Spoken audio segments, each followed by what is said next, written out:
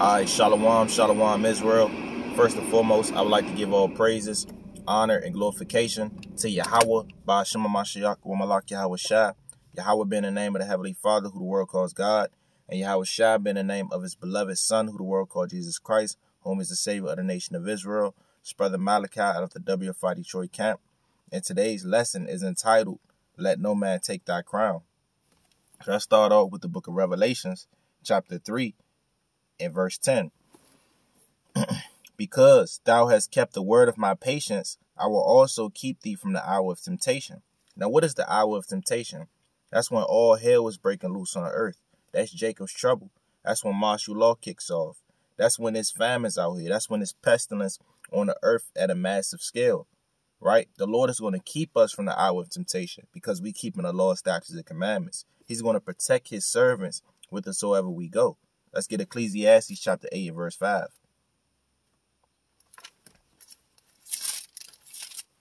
This is book of Ecclesiastes chapter 8 and verse 5. Whoso keepeth the commandment shall feel no evil thing, and a wise man heart discern of both time and judgment. So that's playing upon tables. When you keeping the commandments, the Most High protects you. He's going to send them austere angels around you, right, fought, uh, uh, leading you whithersoever you go, that your foot uh, uh, stumble not, and that your body see not corruption. Right? So let's go back to verse 10. Which shall come upon all the world to try them that dwell upon earth upon the earth. Right? So some trying times are coming to Babylon the Great, man.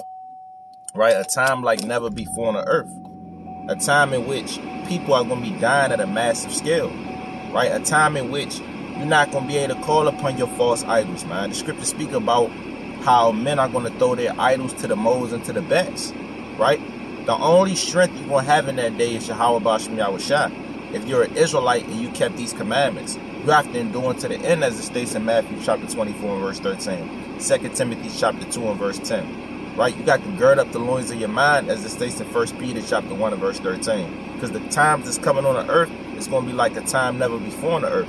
There's going to be so much death, so much destruction. And you have to be spiritually prepared for that. Let's get Isaiah chapter 33 and verse 6. And say, In wisdom and knowledge shall be the stability of thy times, and strength of salvation, the fear of the Lord is his treasure. So the wisdom and the knowledge is going to be the stability that's going to keep you stable in these times to come. Knowing the prophecies, having the understanding of the scriptures, knowing what happens to you after you die, man. A lot of people, they're going to be bugging the hell out. A lot of men going to be giving up the faith when they facing those guillotines, right? But you got to understand, if you get put to death in the flesh, yet in your spirit, you're going to see the Most High again, man, right? That's what the scriptures say. You got to have faith in the Lord. You got to have faith that the Most High is going to raise you back up in that day, right? On resurrection day. And you're going to be in those chariots, giving all honor and glory to Yahweh Shemiyah Shah. You have to know and you have to believe that within your spirit, right? And they say, the fear of the Lord is his treasure. So when you fear the Lord, that's the treasure, man. Not riches and wealth of this society, not physical money, not Federal Reserve notes. That's not your treasure. You got to lay up your treasure in heaven. Right? The scriptures say riches profit not in the day of wrath. Right? So all this money that these Floyd Mayweathers got, these LeBron Jameses, these Jay-Z's, Beyonce's, that money is not going to be able to deliver them in the day of the Lord. Let's get Proverbs chapter 11 verse 4 on that. This wisdom and this knowledge right, is, is, is the treasure of the Most High. Let's get Proverbs chapter 11, verse 4. Riches profit not in the day of wrath, but righteousness delivereth from death. So that riches not going to profit you. That's playing upon table. What delivers you? Righteousness. What's righteousness? Keeping the law, statutes, and commandments of the Father. Not coveting. Okay? Not eating abominable flesh. Right? Not profaning the Sabbath day. Keeping the holy days of Yahweh right? Doing what's pleasing in the sight of the Lord, not being a talebearer, not being a gossiper, not lying one to another, right? But walking righteous before your power, man. Knowing what is acceptable in the sight of the Lord, right? Let's get Deuteronomy chapter 6 and verse 25. This is the book of Deuteronomy chapter 6 and verse 25. And it shall be our righteousness if we observe to do all these commandments before the Lord our God as he have commanded us. So it's your righteousness when you keep these laws, statutes, and commandments of Yahweh That's what keeps you righteous on the earth. This is what's going to deliver you. Okay, not you knowing all the precepts. Okay, not you uh, having abundance of wealth. That's not going to deliver you. What's going to deliver you is you keeping these laws, statutes, and commandments. You being sincere within your spirit. Right? You having that wisdom and knowledge that's going to keep you stable in the times to come on the earth. Right? So let's go back to Revelation chapter 3. Let's go to verse 11. Behold, I come quickly. Hold that fast which thou hast, that no man take thy crown. So what do you have to hold fast to? This wisdom and this knowledge, man. Let's get Matthew the 25th chapter. You got a lot of brothers and sisters out here not holding fast, man. Letting that crown slip. Yeah, we may have uh, slip ups and falls sometimes as mortal men, but we have to pick ourselves back up and go 10 times harder. The scriptures speak about how a righteous man falleth seven times in the book of Proverbs, chapter 24, verse 16, and Psalms, chapter 37, and verse 24. Right? Though he fall, yet he shall not be utterly cast down, for the Lord upholdeth him with his right hand. Right? So we upheld with the right hand of Yahweh Shem Yahweh right? The scriptures say, uh, Paul said through the Spirit of the Lord, Amen. Through through this, we are more than conquerors, man. Through Hamashiach Yahweh Though we go through hell, uh, tribulation, persecution, famine, uh, though we go through all these hardships, we are more than conquerors through Yahweh Shah who loved us. As it states in Philippians chapter 4 and verse 13, we can do all things through Hamashiach Yahweh who strengtheneth us. Right? So as long as we had the Lord, and as long as we had these commandments, and as long as we had these precepts, we're going to be all right, man. We got to have faith in the Most High that He's going to bring us out of our trials and tribulations. Let's go to Matthew chapter 25 and verse 1. Then shall the kingdom of heaven be likened unto ten virgins which took their lamps and went forth to meet the bridegroom. Now the bridegroom is the Mashiach Yahushua. Let's get John chapter 3 and verse 29 on that. Right? Book of John, chapter 3, and verse 29. And it reads, He that hath the bride is the bridegroom. And the Israelites, we are the bride, because we married unto the Lord. And the bridegroom is Hamashiach. But the friend of the bridegroom which standeth and heareth him rejoiceth greatly because of the bridegroom's voice. This my joy therefore is fulfilled. So again, Yahweh he's the bridegroom, and Israel is the bride. Alright, so now let's go to verse 2. And five of them were wise and five were foolish. Right? So you got to seek to be that wise version in these last days. Right? Now, what's a version? Let's get James chapter 1 and verse 27. Right?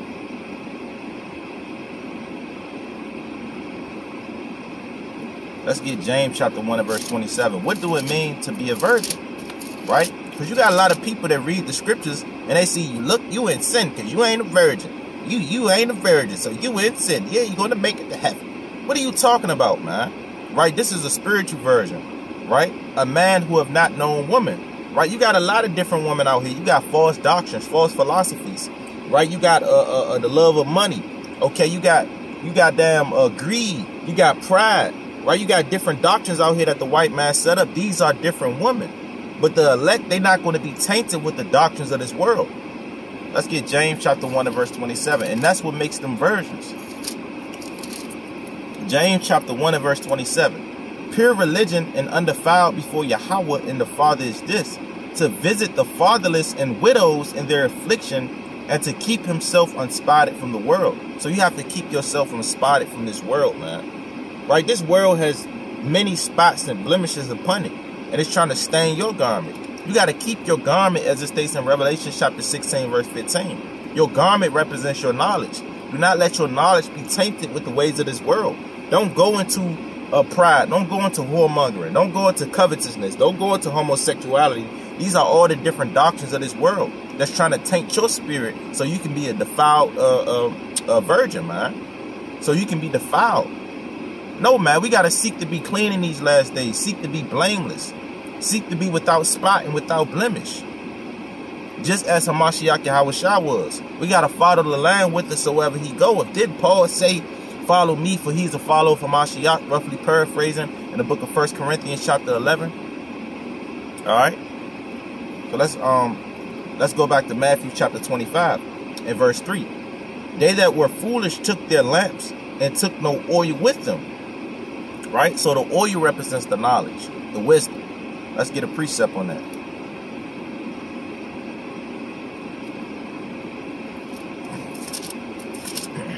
Psalms chapter 104 and verse 15. And wine that maketh glad the heart of man, and oil to make his face shine, and bread which strengtheneth the man's heart. So the scriptures speak about oil making a man's face to shine. But let's get another link in precept to validate what that oil is. Is Ecclesiastes chapter 8 and verse 1. Who is as the wise man, and who knoweth the interpretation of a thing? A man's wisdom maketh his face to shine, and the boldness of his face shall be changed. So a man's wisdom maketh his face to shine. So that oil represents the wisdom. All right, so you have to have the wisdom in these last days, Israel. Now, what's the wisdom? The fear of the Lord. That's the treasure of the Most High. Let's get Job chapter 28, verse 28. This is the book of Job, chapter 28, verse 28. And unto man he said, Behold, the fear of the Lord, that is wisdom, and to depart from evil is understanding. All right? So you have to have the fear of the Lord in these last days. You must have it. It's vital for your salvation. It's vital for your spirit, man. If you don't fear the Lord, you're going to do what's convenient to you. You're going to do your heart's pleasure. You're going to do whatever comes out of your spirit, man whether it's lust, whether it's adultery, whether it's homosexuality, whether it's eating clean, unclean foods, right? Whether it's uh, dealing in different doctrines, right? You're going to do what's in your own spirit and what's in your own flesh. But when you fear the Lord, you do what's pleasing to the Most High. You do what He commanded you to do. All right? So that's Matthew chapter 25 and verse 4. But the wise took oil in their vessels with their lamps. While the bridegroom tarried, they all slumbered and slept. And at midnight there was a cry made, Behold, the bridegroom cometh, go ye out to meet him. Right? And we making that cry in the midnight. Right? We going out there in them highways and byways in the midst of a dark land, telling Israel, wake the hell up, because Yahweh Shah is coming back to redeem Israel. And if you're not right, you're going to be destroyed right along with the so-called white man and the different heathen nations. That's what we tell Israel. So we make that cry in the night. Right? It's a and the foolish said unto the wise, Give Salakia, verse 7. Then all those virgins arose and trimmed their lamps. So you have to trim your lamps in these last days. Right? Examine yourself, making sure you're doing what you're supposed to do to keep yourself in the spirit of the Lord and to keep yourself on that straight and narrow path. Right? Because there's many different devices out here that you can fall there with, man right? You got water on this side, you got fire on this side. You got doctrines over here, doctrines over there, wicked people over here, wicked people over there, seducing spirits, doctrines of devil. You got all kind of hell around you, but you have to stay on that straight and narrow path as it states in the Bible. What's that straight and narrow path? This Bible. Doing what these scriptures say. Humbling down to the word of the Lord. Right? So you got to arise and trim your lamps. Making sure you're on fire in this thing making sure you praying, making sure you fasting, making sure you studying, making sure you hitting up brothers, making sure you, uh, uh, uh you know, that, that prayer is important, man. You got to pray to the Lord, man. Right? Right? I'm speaking to myself, man. Right? Hey, that slothful demon, man. That slothful demon can hop on you at any time. You got to kind of knock that thing to the side, man. And say, look, no, I'm going to study. I'm going to get in the scriptures. I'm going to read a certain amount of uh, uh, chapters a day. I'm going to study my precepts. Right? Even if you feeling slothful, you feeling down, you kind of don't want to study, you got to make yourself do it, man. Right? You got to be disciplined in this thing. Right? That's what the Lord uh, sees in a man. Right? That's a great possession that a man ought to have is discipline. Right? So let's keep reading. And at midnight there was a cry made, Behold, the bridegroom cometh, go ye out to meet him. Then all those virgins arose and trimmed their lamps. Let's get Luke chapter 12, verse 35. Right? So you can't let no man take your crown, man. Right? Whether it's a family member, okay, whether it's a wife, whether it's a, a, another brother trying to put a doctrine in your ear, you can't let no man take your crown. You got to stay on that straight and narrow path. Right? Let's get Luke chapter 12, verse 35. Let your loins be girded about and your lights burning. And ye yourselves like men that wait for their Lord, when he will return from the wedding, that when he cometh and knocketh, they may open unto him immediately. Right? So you got to keep your lights burning. Stay on fire for the Lord. Let's get 2nd Esdras chapter 6, verse 37.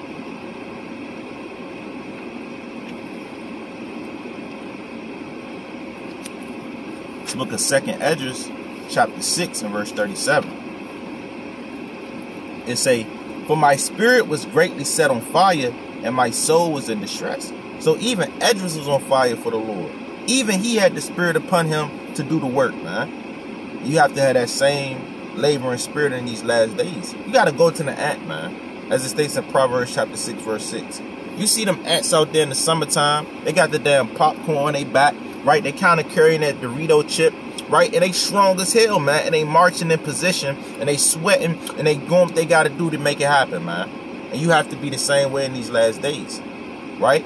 Might be catching all kind of hell, man. Your job giving you hell, right? You trying to get your household in order. You still got the ministry to worry about. You still got to hit up brothers and exhort brothers to keep their spirit strong. You still got to work out your own salvation. You got a lot of different elements in this thing, man. Right? But the only way you can be able to manage these things is through the scriptures and doing what the Bible say. Because you can't do it out of your own heart, out of your own flesh. Right? We'll all be destroyed if we try to do things our way, man. Because we as filthy rags unto Yahweh Shem Yahushua we ain't clean so we need these scriptures to uh, uh, guide us in our paths right uh, matthew chapter 25 and verse 8 and the foolish said unto the wise give us of your oil for our lamps are gone out so you got a lot of brothers and sisters out here in which their lamps are going out they falling back into the world they losing that wit they losing that knowledge they don't know the breakdowns no more they didn't went back into the world they picked up a blunt right? They went into whoremongering. They went into covetousness, right? And all kind of different spirits, man. Right? Let's get Wisdom of Solomon chapter 4 and verse 4 on that. Right? And you got to make sure that's not you in these last days. Right? And if you feel yourself slipping, hey, man, tighten up. You have to tighten up. You have to get back in the spirit. You have to pray. You have to fast. You have to study, man. Reach out to brothers. Talk to the Heavenly Father, man. Pray all throughout your day. Get yourself back on track, man. Wisdom of Solomon chapter 4 verse 4. For though they flourish in branches for a time, yet standing not fast, they shall be shaken with the wind. And through the force of winds, they shall be rooted out.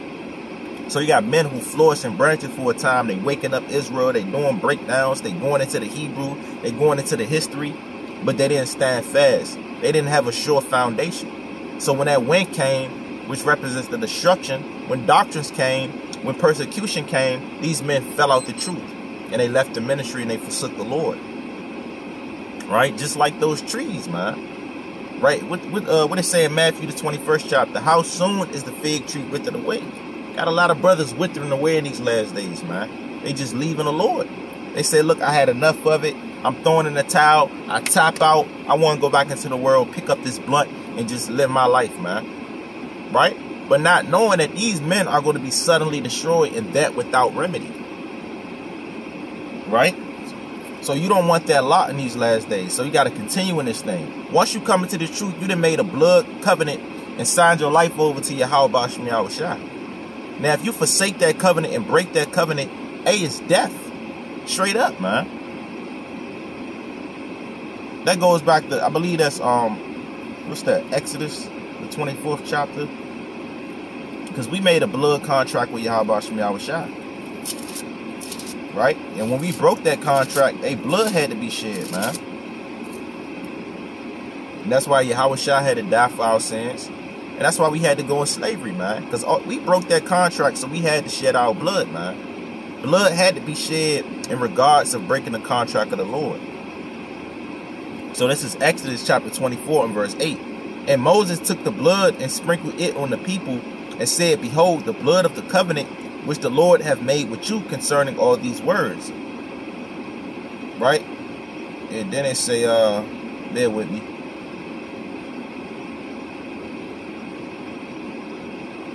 Let's go to verse 7. And he took the book of the covenant and read it in the ordinance of the people. And they said, All that the Lord have said will we do and be obedient. And Moses took the blood and sprinkled it on the people and said, Behold, the blood of the covenant which the Lord hath made with you concerning all these words. Now let's go to Hebrews chapter 9, verse 18.